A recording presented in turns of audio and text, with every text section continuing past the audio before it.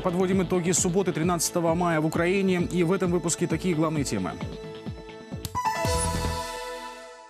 Компьютеры по всему миру поражает вирус-вымогатель WannaCry. В атаке хакеров замечен русский след.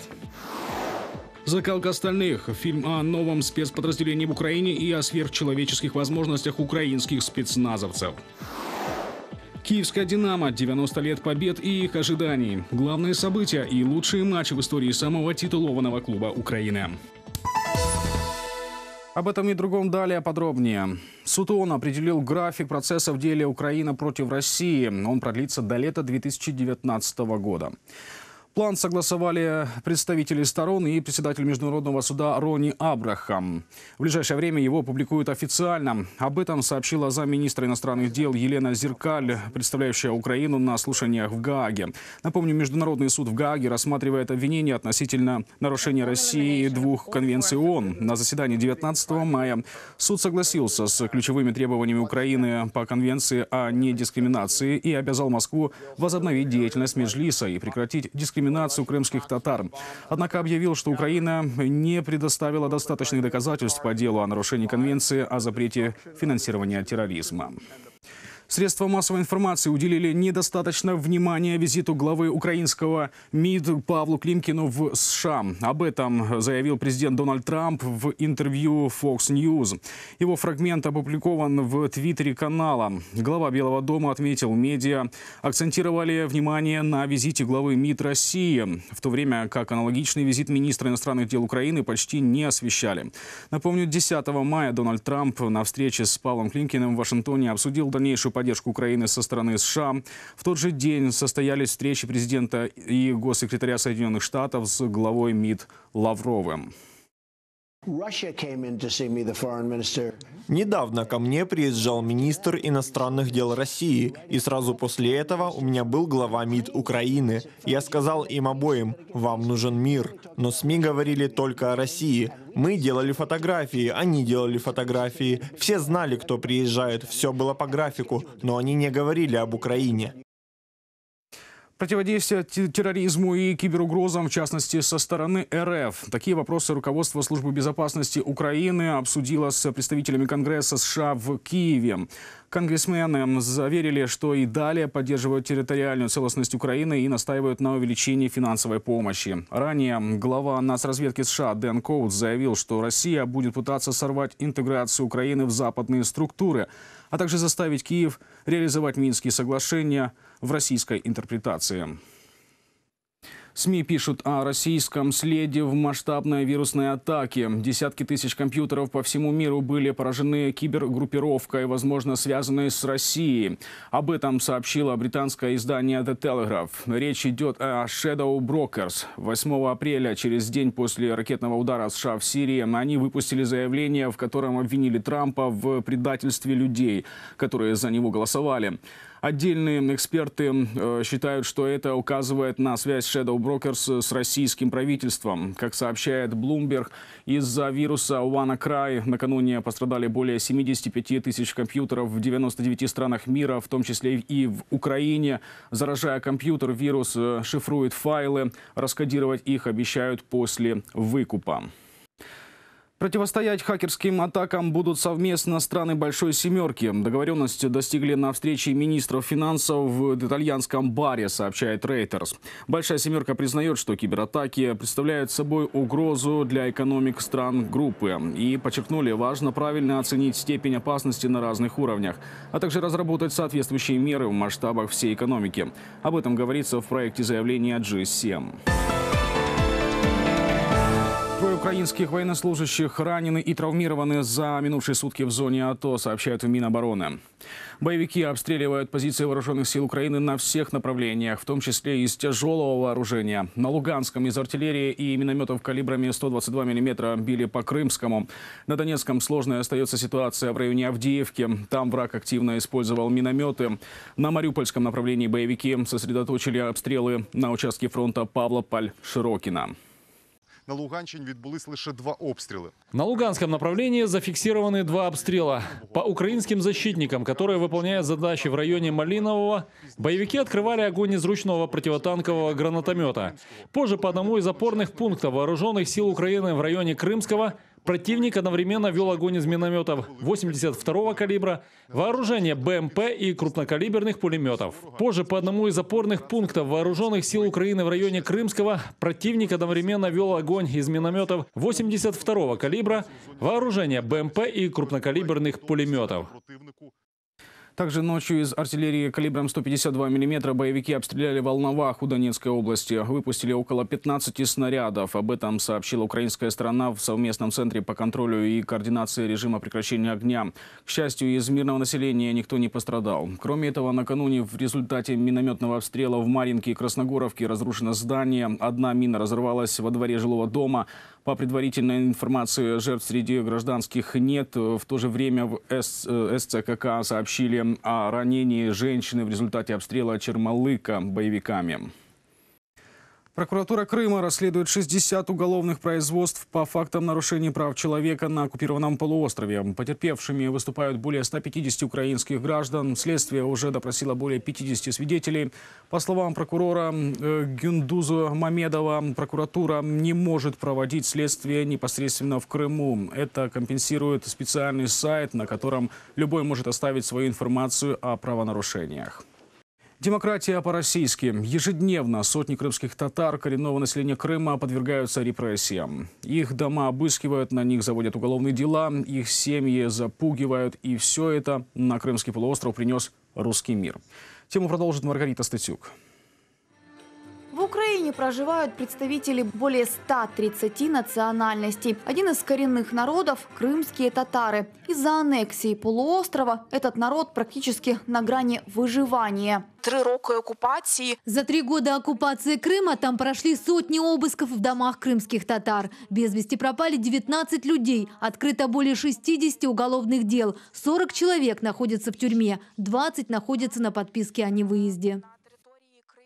Геноцид крымские татары на себе ощущают уже не в первый раз. В мае 1944 года по приказу Сталина около 240 тысяч человек, почти все коренное население полуострова, депортировали с родной земли. Уничтожали и все культурное наследие крымских татар тоже. Сжигались книги, взрывались мечети, уничтожались даже кладбища. Из надгробных камней делали они тротуары, свинарники. Словом, полностью изменили географические наименования.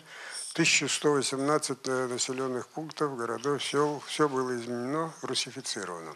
В 2014-м от кремлевского режима крымские татары ожидали повторения 1944-го. Мы вообще-то первые дни ожидали тотальной снова депортации. Выяснилось, что там э, мнения в Кремле в отношении крымских татар разделились на две части. Одни считали, что надо как-то договориться купить, запугать. А вторая линия была на то, что э, концепция была такая, что с крымскими татарами невозможно договориться, и поэтому надо действовать традиционными методами, то есть репрессии, Репрессиям крымские татары подвергаются каждый день. Говорить на родном языке нельзя, молиться в мечети нельзя. Отмечать национальные праздники также запрещено. Спецслужбы отслеживают даже лайки в социальных сетях. Каждое утро, как по будильнику в 8.00, крымские татары вздрагивают. Ждут новых обысков от российских карателей. Обысков, наверное, на, с момента оккупации на сегодняшний день уже было,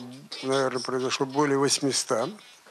Уже, уже, не- фиксируется даже, потому что каждый день утром люди смотрят на часы, если уже 8-9 часов, а говорят, сегодня, наверное, не придут с обыском. К 73-й годовщине депортации коренного народа Крымского полуострова в Киев приехала друг Украины, депутат Европейского парламента Ребекка Хармс. Говорит, Европа думает над ужесточением санкций против Кремля. Я считаю, что это неправильно, что каждые шесть месяцев ведутся дискуссии о необходимости продления санкций. Я считаю, что этот период нужно увеличить хотя бы на год. Все те, кто думают, что европейцы лишат Россию санкций, это не так. За права крымских татар Украина борется на мировой арене. Недавно по иску нашей страны Международный суд в Гаге обязал Россию прекратить репрессии коренного народа в Крыму. Маргарита Статюк, Александр Копиловский, UATV. 11 мая исполнилось три года с момента незаконного ареста украинского режиссера Олега Сенцова, а также Алексея Черния и Александра Кольченко. Правозащитники и волонтеры запустили флешмоб «Пора отпускать». Об украинских узниках Кремля говорим сегодня с гостьей нашей студии, главой правления Центра гражданских свобод Александрой Матвейчук. Здравствуйте, Александра. Спасибо. Добрый день. Спасибо, что нашли время прийти к нам. И прежде всего, э, хотелось бы начать э, с такого вопроса. Насколько полна информация о наших э, э, граждан? Конечно, мы мало что знаем э, о том, как проходят дни людей, которые заключены за политическими мотивами в Российской Федерации в оккупированном Крыму. Мы имеем информацию только из их писем, от редких визитов родственников, от визитов их адвокатов, либо членов наблюдательных комиссий, которые время от времени могут их посещать. То есть есть доступ э, правозащиты, э, поддерживать связь с близкими? Очень ограничены. Э, Если говорить во- вообще про список э, Let My People Go, который кроме Олега Сенцова, Александра Кольченко и Алексея Черния насчитывает 44 человека всего, то ситуация очень по-разному складывается. У нас есть э, кейсы, где не имеют доступы независимые адвокаты месяцами к своим клиентам, где, например, не- невозможно посе- посещение украинского консула, потому что человеку принудительно навязывают российское гражданство. Ну и это, к сожалению, не, не рядовой случай, а такая обычная практика. А что известно об условиях содержания их? Ну, российские тюрьмы, они никогда не отличались гуманностью. Если говорить про Олега Сенцова, он сейчас находится в Якутии. Это такой, знаете, злой розыгрыш судьбы. Человек с Крыма, вот закинуть его в самое такое, наверное, одно из самых холодных мест Российской Федерации. Вот. э, Мы знаем только со слов его сестры, что, конечно, он там пытается заниматься творчеством, что-то пишет, э, э, держится и не сломлен духом, что немаловажно, и ощущает нашу поддержку. И, собственно, мы и выходили на эту акцию «Пора отпускать» и запускали этот флешмоб для того, чтобы дать сигнал вот даже в ту далекую Якутию, что Украина борется за Олега Сенцова, Алексея Черния, за Александра Кольченко и всех других из списка «Let my people go». В чем их обвиняет Кремль? Это сфабрикованное дело в терроризме. Мы должны поверить про то, что украинский режиссер, собственно, пытался совершить террористические акты. И вот их шили всех четверых. Я говорю четверых, потому что э, Геннадий Афанасий, слава богу, с прошлого года был обменен и помилован официально по правым способам, но обменен де-факто и находится на свободе. Вот их шили всех в одну террористическую группу. Олега Сенцова назначили руководителем этой террористической группы. Нет никаких доказательств.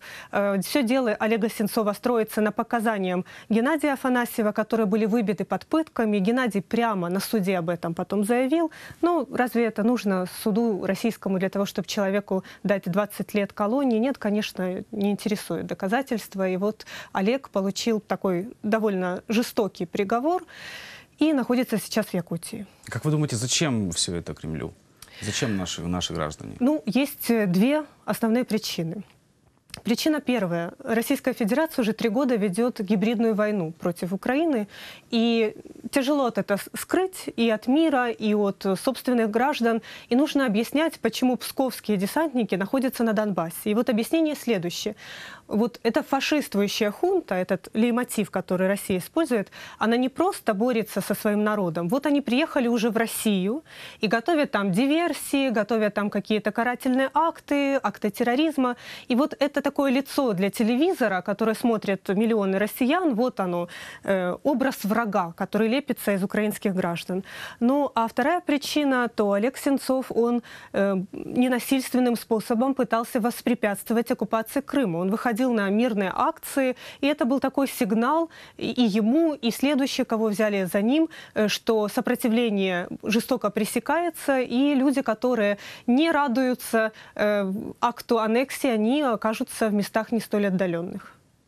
Как вы считаете, достаточно ли усилий прилагает украинская власть, общественные организации, чтобы наши ребята поскорее вернулись домой? Каждый из них. Украина только учится защищать своих граждан, и, собственно, за эти три года мы видим разительный успех э, в том, как это было в 2014 году и как сейчас работа строится в 2017. Но, конечно, очень многое не дорабатывается, и вот э, я для себя сделала такое открытие, когда в феврале этого года э, встречалась с целым рядом гражданских активистов в регионах, то есть не обыкновенными людьми, а людьми, которые занимаются гражданской активной деятельностью. И я спрашивала их, а что вы слышали об Олеге Сенцове? Ну, я так себе думала, это самый известный человек из этих 44 заключенных, и если они про него ничего не слышали, ну что уже говорить про других. И оказалось, что вот гражданско активных людей в регионах тоже не все знают вообще про дело Олега Сенцова. То Ну есть в мире мы тоже э, не дорабатываем. Не, не так хорошо знают э, о задержанных наших украинцах. Да, то есть есть еще над чем работать. Э, Пенцентр э, запустил кампанию в поддержку Олега Сенцова. Лич- известные личности подписали открытое письмо с призывом добиваться освобождения Сенцова. В мире, я так понимаю, тоже э, не очень хорошо знают. Ну, я бы сказала, что благодаря усилиям э, режиссерского сообщества, а Олег Сенцов режиссер, и за эти три года кто только не выступил на его защиту, и известные нобелевские лауреаты, и известные писатели, поэты, режиссеры, актеры, то, конечно, вот э, про Олега более слышно, чем про других заключенных. И Недавно Пен-клуб, еще перед тем, как огласить эту кампанию, тоже сделал очень важный шаг. Он вручил Олегу Сенцову очень престижную международную премию. Ее получать полетела его сестра Наталья Каплан. И, собственно, эта кампания, которую начал Пен-клуб, это игра в долгую. Э, Они ее закончат, когда Олега Сенцова освободят. Мгм. Мировое сообщество осуждает, все видят, признают несправедливость. Э, Как вы считаете, есть ли какие-то действенные рычаги для освобождения? Ну, э, ответ э, сложный, да, вот я могу очень абстрактно ответить. И вот вопрос, как добиться такого состояния. Состояние, когда Путину будет невыгодно их удерживать, когда он должен будет, э, легче ему будет их отпустить. И мы понимаем, что мы имеем дело с авторитарной страной, в которой есть сотни своих политзаключенных. Собственно, только «Мемориал», российская правозащитная организация, признала 115 людей, которые сейчас находятся за местах несвободы э, Российской Федерации э, политузниками. И политические репрессии – это обыденная вещь для Российской Федерации. И остановить вот этот вал, вот как, да, вот э, нужно организовать очень очень мощное международное давление на Путина. И, собственно, наша кампания, которую мы ведем уже третий год, она держит этих людей в повестке дня и Украины, и международного сообщества, чтобы про них говорили, чтобы про них не забывали, и чтобы вот это международное давление формировать. Думаю, что не стоит забывать и э, о тех людях, которые э, подвергаются репрессиям э, и арестам в Крыму. Вы мониторите ситуацию там? Конечно, из 44 людей большая часть – это люди крымчане, либо те, которые были задержаны в Крыму, как, например, Евгений Панов, сам из Запорожья, либо вот есть даже такой, как Андрей Коломиец, который э, гражданин Украины, проживал совсем в другой части Российской Федерации, и его специально привезли в Крым, когда он там никогда не был, для того, чтобы обвинить его, вот, э, в, э, как пишется в судебном постановлении, участие в неконституционном перевороте. Э, Ну, так называют Евромайдан, революцию достоинства, э, российская пропаганда. Э, Большинство людей крымчане, и самое ужасное, что их количество увеличивается. И в этом году мы видим новые тенденции. Если в прошлом году мы только говорили про то, что увеличивается количество таких преследуемых людей, то сейчас мы видим, что начинают этот вал репрессий начинает касаться их адвокатов и людей, которые просто их поддерживают. Например, носят передачи, передают какие-то вещи, помогают родственникам, либо приходят вот в виде такой молчаливой поддержки во время обысков, стоят под домом, вот просто, что вот мы, мы рядом. Сейчас их уже начали преследовать, и именно поэтому мы считаем, что э, этот вот атмосфера несвободы настолько стала удушающей на полуострове, э, что Европейский Союз должен отреагировать и ввести против Российской Федерации санкции, которые до этого не вводились, а именно санкции за массовые нарушения права человека. И большинство украинцев э, находятся в заложниках на Донбассе. Какая есть информация? Да, это Донбассу? тоже очень тяжелая эм, тема, э, поскольку непонятно, как вытащить только за официальными данными 120 людей, которые удерживаются в подвалах СБУ, в ужасных условиях. Вот когда я говорю ужасных, вот, ну вот просто нужно посмотреть фотографии этих подвалов, которые мы делали уже на освобожденной территории 2014-2015 года. И, собственно, когда мы опрашивали людей, которые вышли из плена, то каждый второй гражданский рассказал нам, что он был подвергнут пыткам. То есть не просто избиением.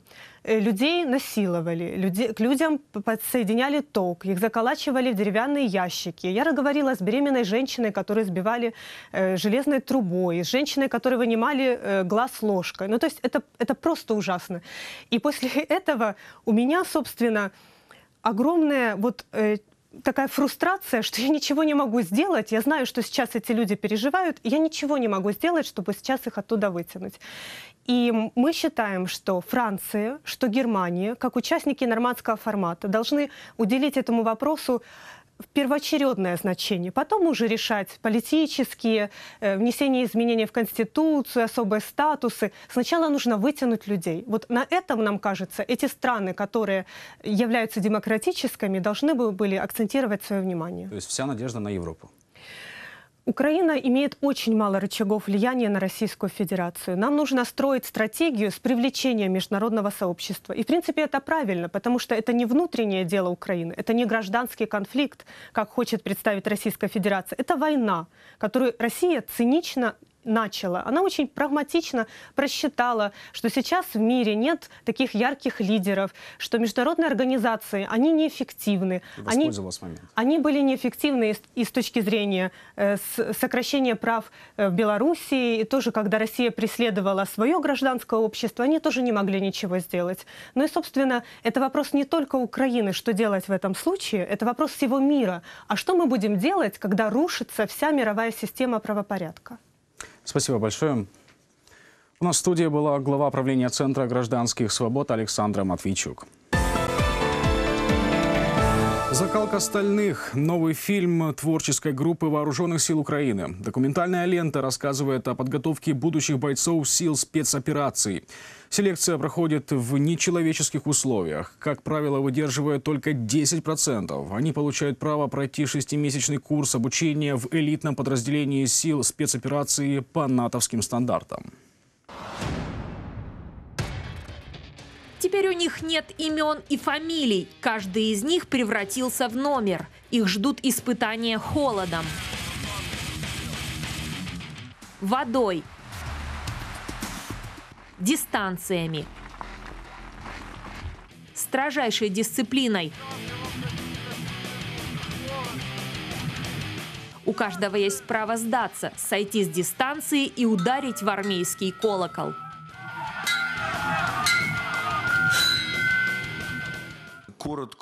Кратко о требованиях прохождения квалификационного курса. Это лица до 35 лет с образцовой физической подготовкой, отличным состоянием здоровья, способностью выдержать огромные нечеловеческие нагрузки, стрессоустойчивость. А об остальном можно узнать из фильма. Только самые выносливые выдерживают трехнедельный интенсивный курс. Они получают возможность продолжить обучение в подразделении спецопераций по натовским стандартам. Какой целью? Пройти курс.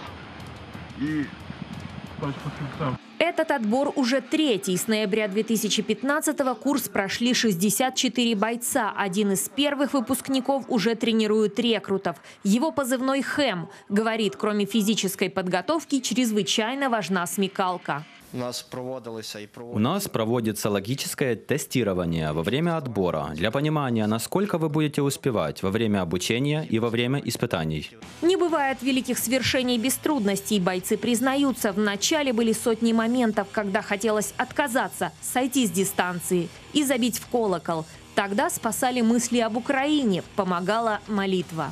Скріпи мій дух, загартуй волю, в серці замешкай моєму. Зрости мене до ясних чинів. У тих чинах хай знайду я смерть, солодку смерть у муках за тебе. І розплинуся в тобі. Я вічно житиму в тобі, відвічна Україна. Свята, могутня, соборна. Слава Україні, слава ССО. Маріанна Макада, Петр Галка, UATV.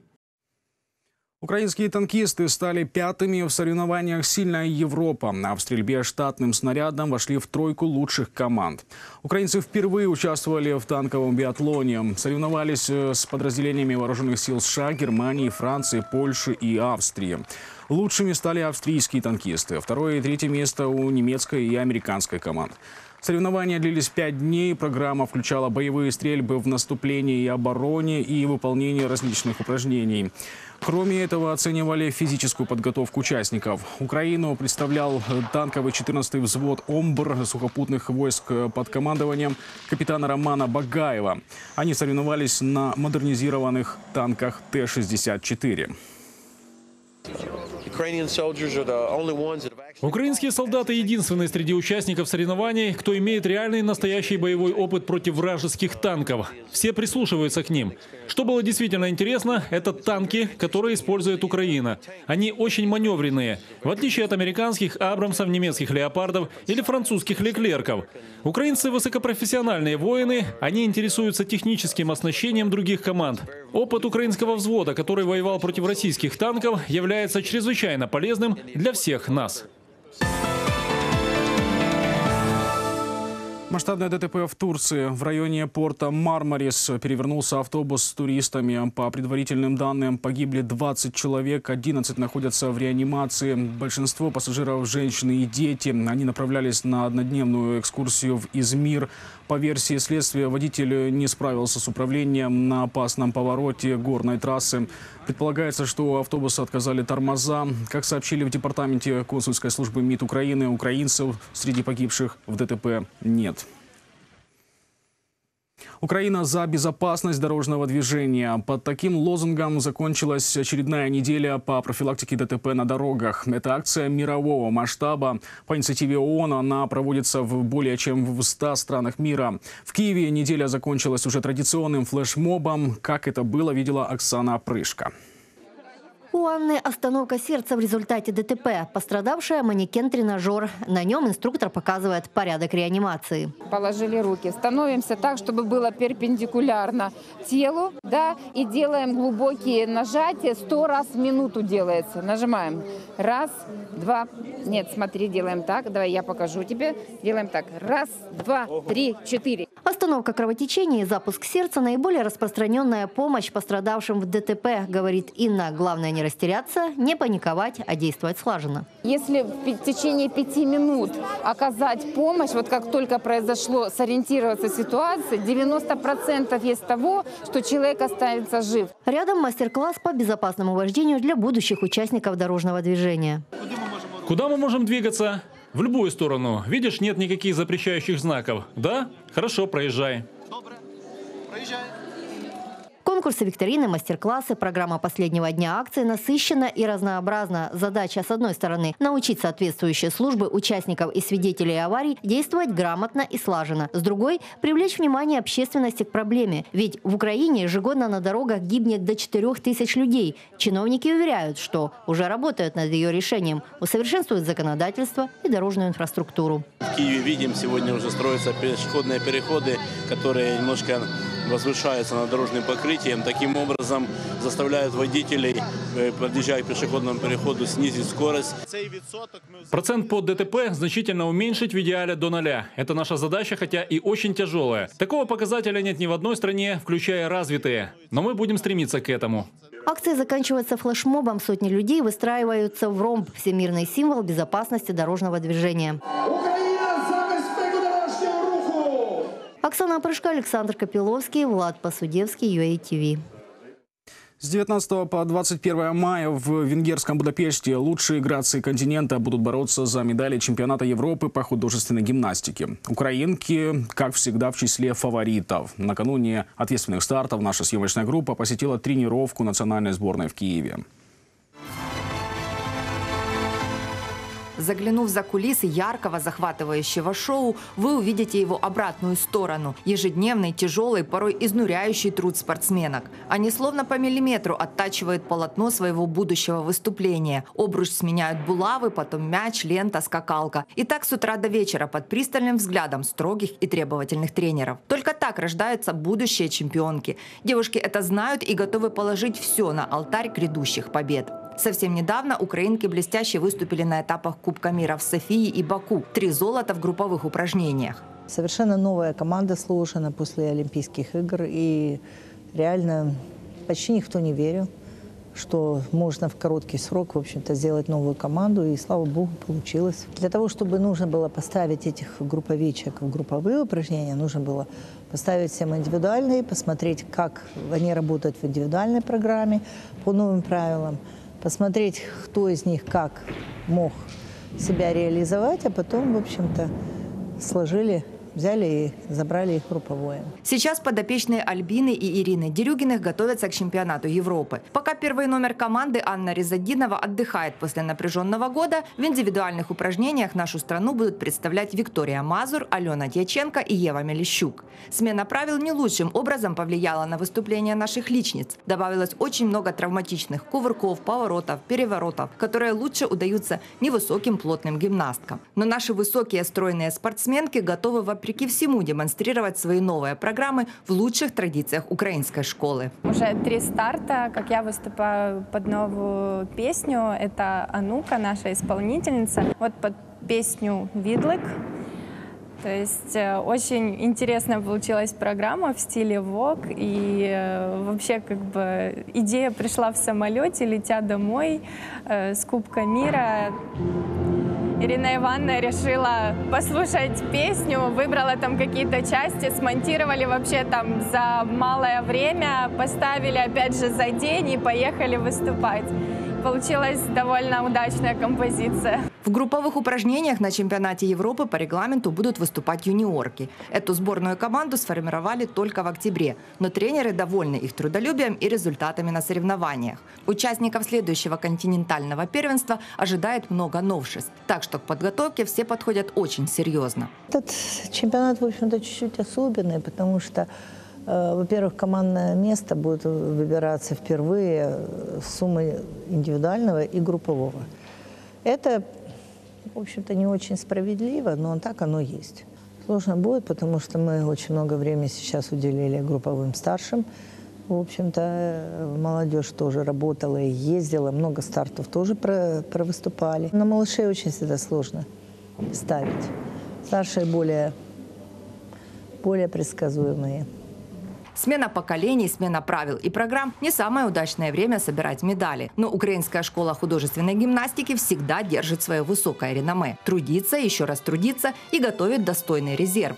Негласный девиз школы Дерюгиных еще никогда не подводил. Елена Дидух, Тимофей Сорокин, UATV. «Динамо-90». 13 мая свой юбилей празднует один из самых известных украинских клубов. Это самая титулованная футбольная команда бывшего СССР. Чем прославился не только дома, но и в Европе киевский клуб, расскажет Владимир Гросел. 13 мая 1927 года на территории Украины, которая тогда входила в состав СССР, был создан новый футбольный клуб «Динамо Киев». Почти 30 лет понадобилось новоиспеченной команде, чтобы добиться успеха в крупных турнирах. В 1954-м бело-синие завоевали свой первый кубок СССР. Это знаменательное достижение стало прологом к золотым 60-м. Впервые кубок СССР по футболу завоевали киевляне. Почетный приз вручен команде-победительнице Киевскому «Динамо». В дальнейшем динамовцы еще 8 раз брали этот трофей и 13 становились чемпионами СССР. Первый раз в 1961 году, а в 1967 динамовцы дебютируют в Кубке чемпионов. Сейчас это Лига чемпионов. Тогда киевляне дошли до 1-8 финала. Покорить европейские вершины футбола Динамо смогло в 70-х, когда главным тренером команды стал 34-летний Валерий Лобановский. Он изменил тренировки и настрой команды.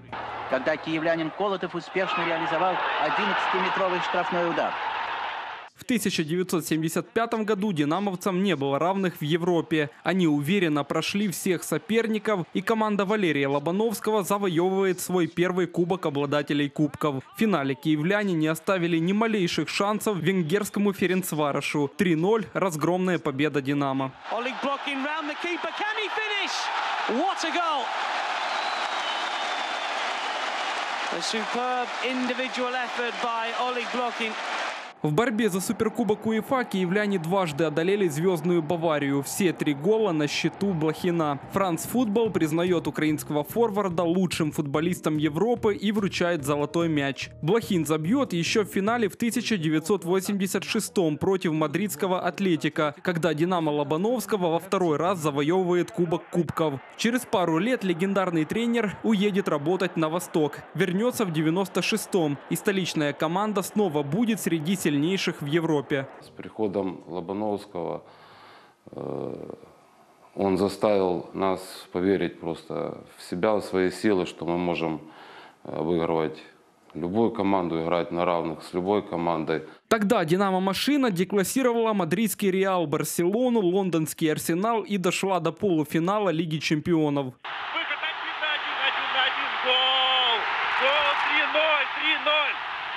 «Динамо» выигрывает Барселону.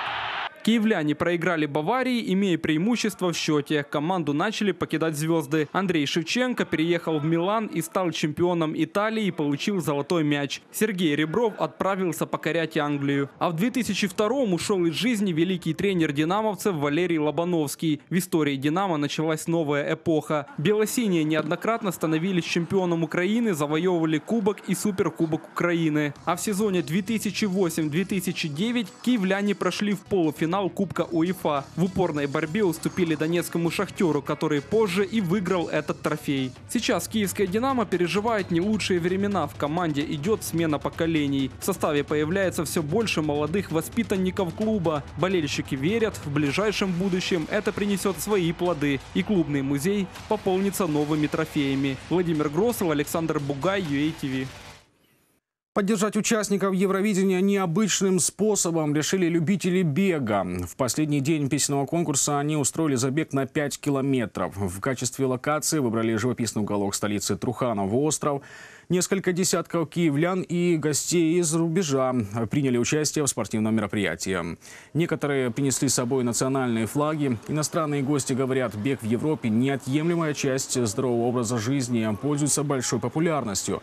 В свою очередь, организаторы, общественная организация «Run Day» приглашает присоединиться всех желающих. Подобные утренние забеги они проводят каждую неделю в разных городах Украины. В Англии бег в парках очень популярен. Сотни людей каждый день приходят в парки и бегают. Это бесплатно. И во всем мире таким образом люди укрепляют здоровье. Приятно видеть, что подобное происходит здесь, в Киеве. Вы можете путешествовать с Рандой по Украине и бегать с нами каждую субботу в 8 утра в Ивано-Франковске, Одессе, Тернополе, Киеве. И менее чем через час в Международном выставочном центре стартует финал Евровидения 2017. На главную арену в 22.00 выйдут представители 26 стран. Украинская группа «Торвальд» выступит под номером 22. Откроет программу представитель Израиля Имри, а завершит француженка «Алма». В этот вечер голосуют все 42 страны-участницы конкурса. Свои голоса они смогут отдать с помощью СМС и телефонных звонков. При этом их э, с одного номера не должно превышать 20. Нельзя голосовать за участника из своей страны. Кроме мнения зрителей, при определении победителя учитывают и оценки профессионального жюри. Соотношение составляет 50 на 50. Результаты огласят только после окончания гранд-финала. За развитием событий продолжают следить наши корреспонденты. Спасибо, что остаетесь с нами. Берегите себя и думайте только о хорошем. До встречи.